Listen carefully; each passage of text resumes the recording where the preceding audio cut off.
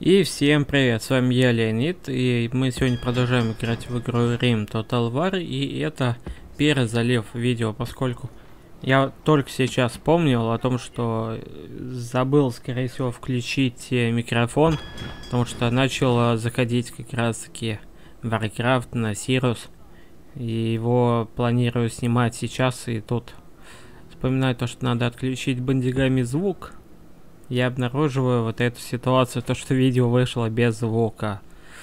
И было печально немножко на самом деле, поскольку немало времени я потратил на запись, меня отвлекали, тем более, хотя с другой стороны даже хорошо то, что не получилось э, такой проблемы, что меня отвлекали, мешали, и были проблемы с записью видео, и сейчас перезаписываю.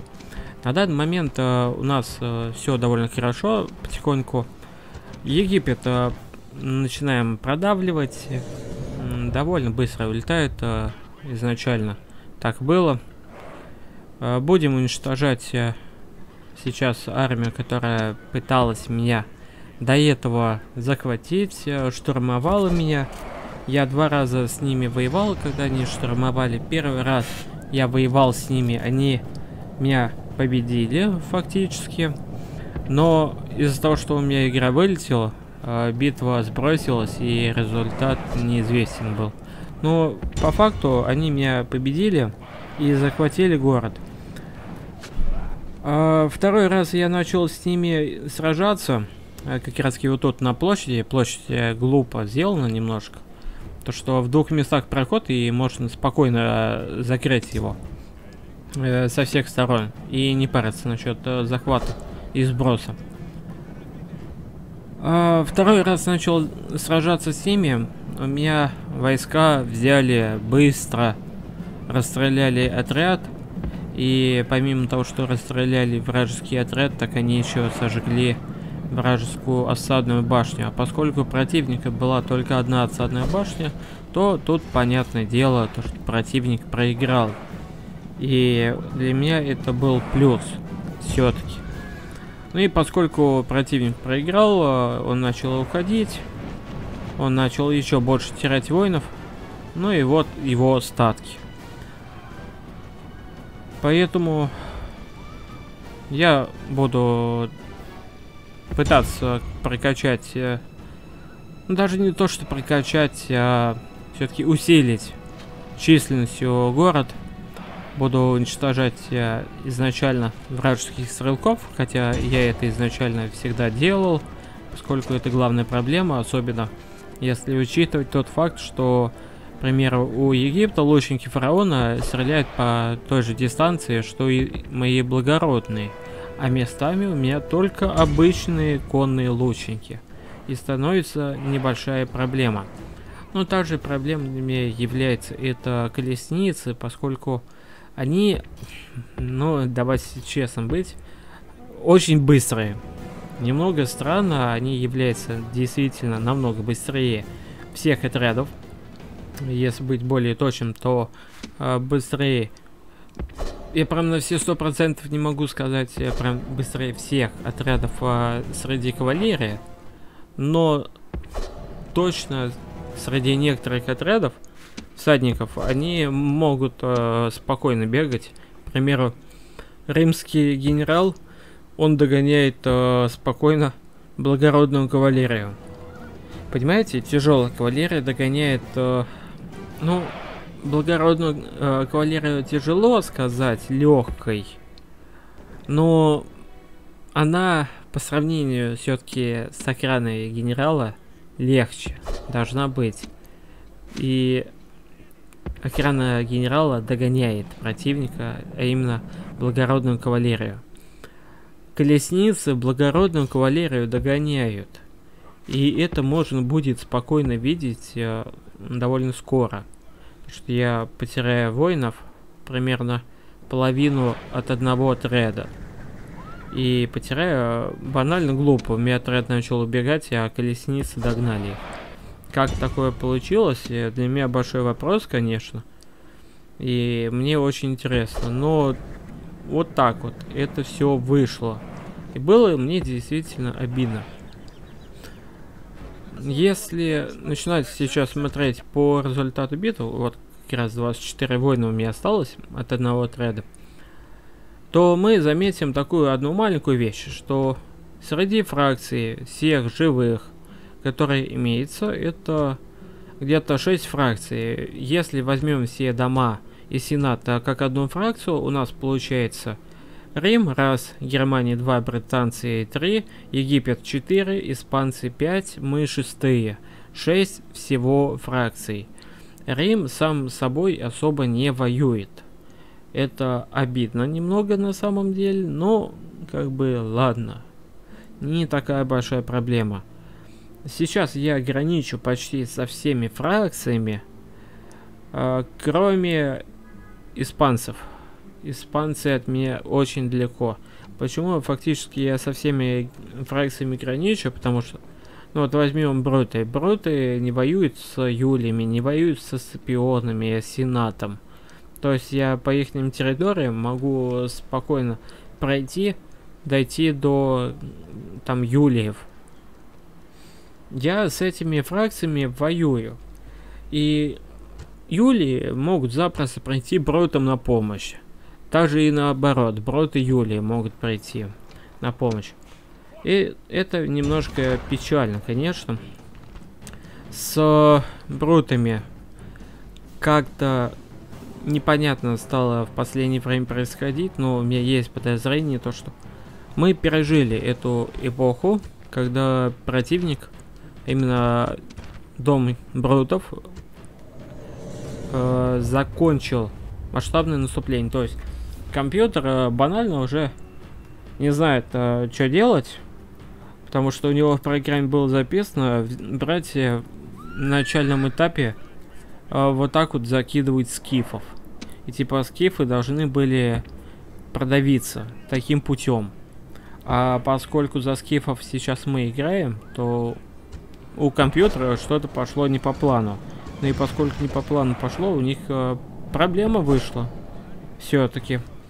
Ну а раз проблема, значит, что нужно делать? Решать. Решать как? Надо собирать армию и как-то закрывать, э, ну, не трещину и не брешь. Недоразумение это. Ну и он начал как раз э, кидать э, вспомогательные войска очень часто. Иногда даже и почти всю армию может кинуть э, только вспомогательных войск.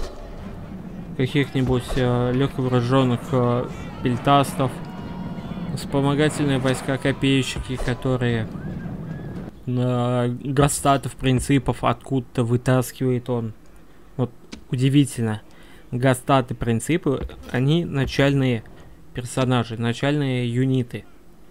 А откуда на таком этапе уже, когда много времени прошло с начала, он вытаскивает эти войска? Хороший вопрос становится, на который мы, конечно, ответ не получим, но, скорее всего, он банально.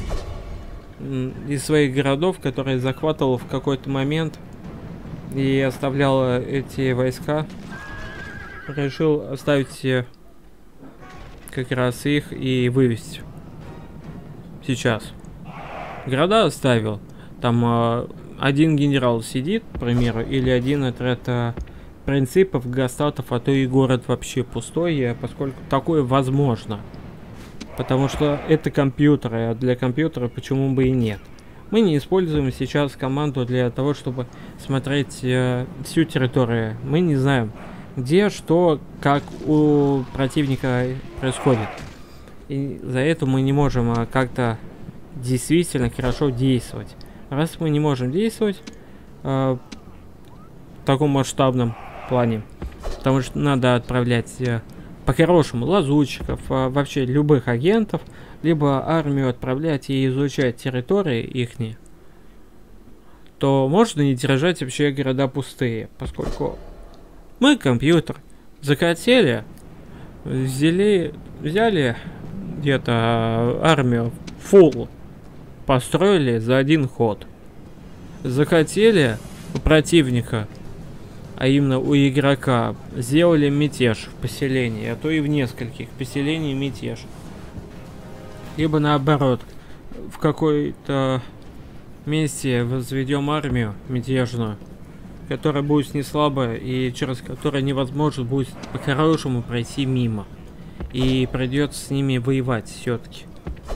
Или выкинем из города пикерские войска, чтобы как-то задержать атаку, либо армию взять, э, повредить не слабо. И чтобы эта атака отменилась и она чуть больше по времени себя заняла. То есть такие вот моменты бывают. Сейчас мы уничтожили э, немало воинов у бротов. То что число почти такое же, как у нас, а зеркальное получилось. И у противника, вот, просто смотрим. Самое опасное это три отряда вспомогательных войск, легионеры, ранника города и кавалерия. Э, все, то есть вот они. Сколько тут у нас? Э, 5 отрядов. Единственные отряды, которые могут нам что-то сейчас да, сделать. А, также я э, флот немножко отправляю к Египту с армией небольшой. Ну ладно. Три отряда, пожалуй, германцам отведем на захват поселения. Даже не три, а пять будет отрядов. Пять отрядов поинтересней. Но вопрос куда? Сюда пойти к якобы датчанам, то что у нас известно, либо туда пойти.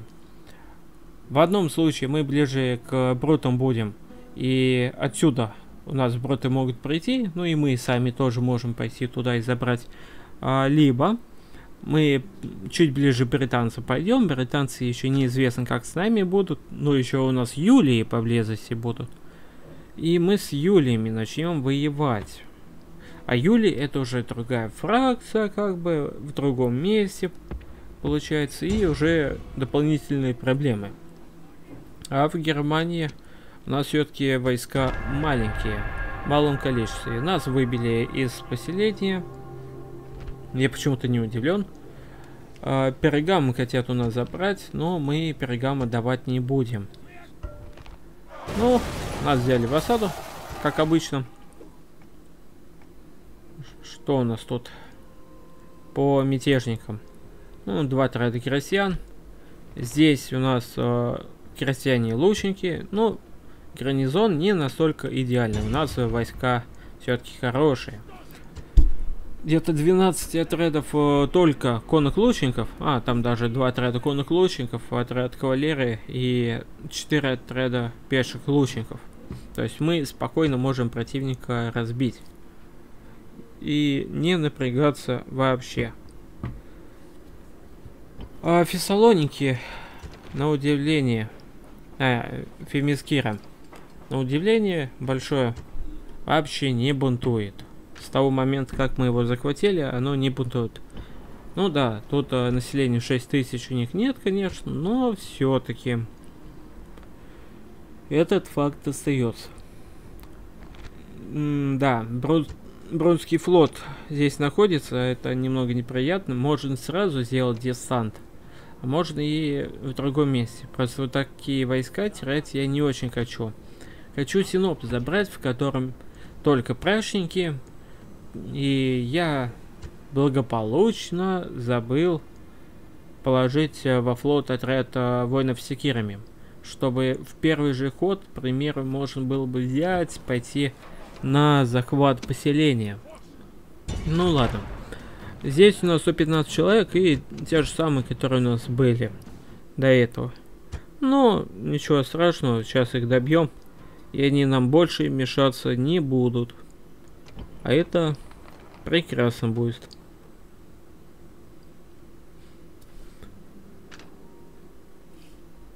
Так, э, сразу с Брутами и Египтом разобрался. Подводим генерала. Сейчас э, в поселении. Надо будет э, передать всю свету тому генералу, более молодому, поскольку это будет замена у нас э, новому генералу, который должен являться более знатным и более крутым. как раз но я надеюсь к тому, то, что когда он станет лидером этого города, он не станет как а, вот этот старый генерал, у которого в свете будет шлюха, к примеру, либо пьяница, или еще кто-нибудь из неприятных. Отправляемся к поселению, и на пути нам попадаются германцы с тремя отрядами.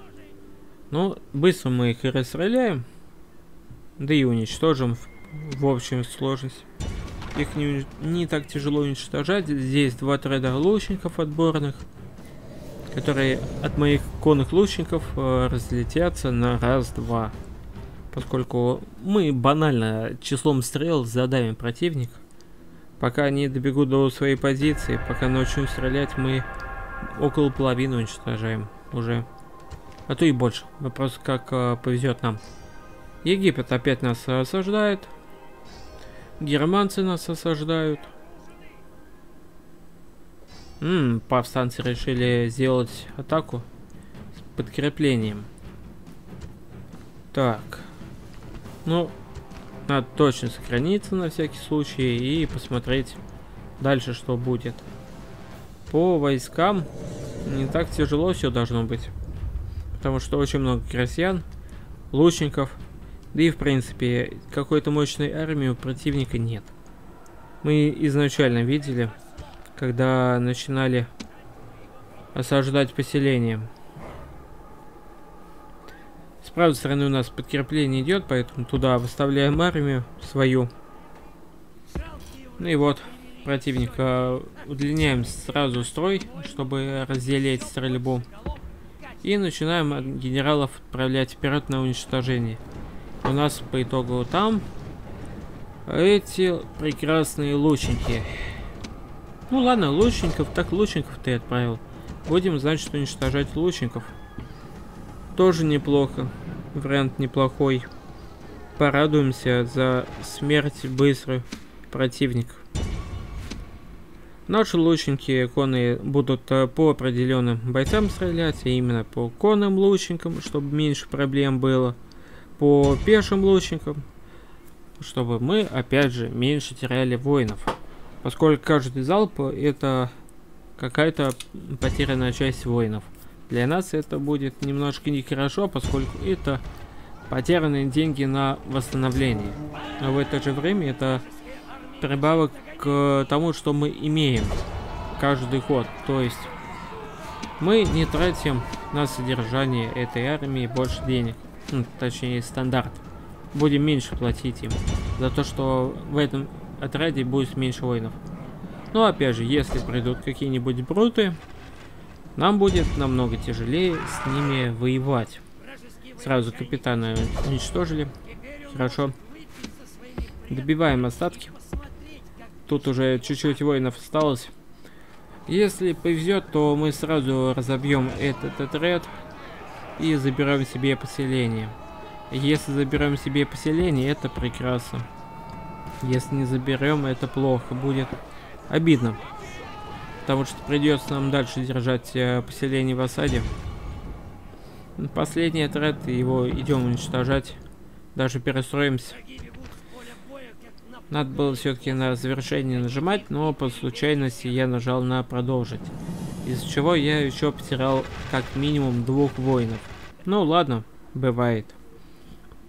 Ну, результат, в принципе, неплохой. 128 в подкреплении осталось воинов и противник остался в поселении. Немножко странно, конечно, получилось, но ладно.